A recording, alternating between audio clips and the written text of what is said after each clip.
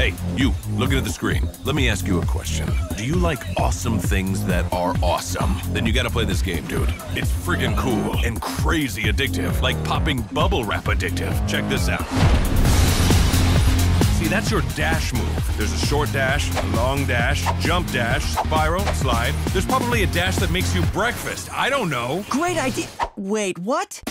Point is, you're dashing around like a friggin' moon man, and I love it. Oh, and look at this. There's all these combo moves you can do. Then you can do combos on combos to rack up your score. And I know you like that combo on combo action. But I saved the best for last. Absorption boost.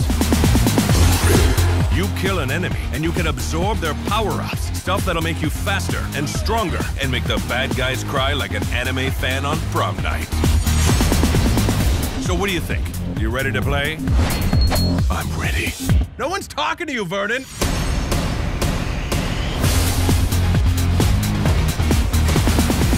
Mighty number nine.